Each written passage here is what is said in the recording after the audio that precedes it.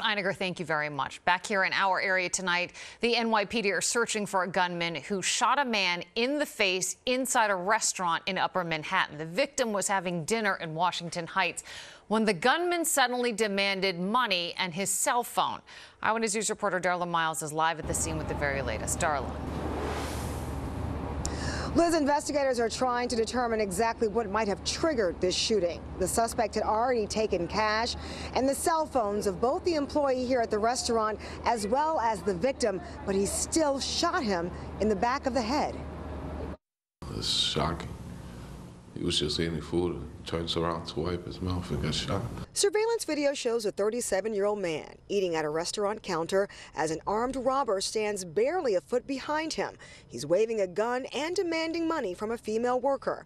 Eyewitness News stopping the video, not showing the moment he is shot in the back of the head. I grew up with him. Uh, my mom used to take care of him when he used to come from school when we was little. This happened at the Seafood King Market and Restaurant on Broadway in West 163rd in Washington Heights just before 2 a.m. Wednesday. The victim has not been named and is listed in critical but stable condition at Mount Sinai Morningside. I don't know if the victim saw it coming. The victim just had his property taken, uh, cell phone and money while he was eating, and I'm sure he was watching the encounter. Witnesses say the suspect first came into the restaurant, sat at the counter, ordered food, and then left. About 10 minutes later, they say he came back again. This time, he went straight to the bathroom, and when he came out of the bathroom, that's when they say he pulled out a gun, robbed both the victim and the restaurant, ordering the female employee to put the cash in a plastic bag. Witnesses say the suspect then ordered her to get down.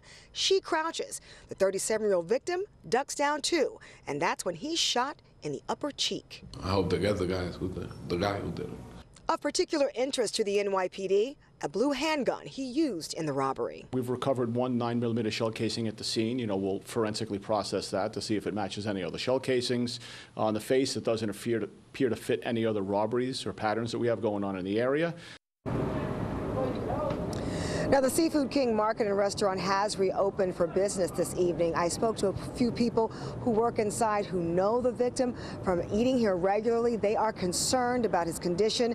As for the suspect, the NYPD is still working to identify him by name.